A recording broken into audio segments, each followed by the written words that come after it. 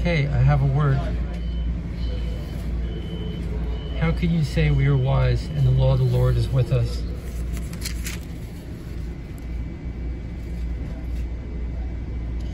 I will surely consume them, says the Lord. No grapes shall be on the vine, nor figs on the tree, and the leaf shall fade, and the things I have given them shall pass away from them. Behold, I send you serpents among you, vipers which cannot be charmed, and they shall bite you, says the Lord.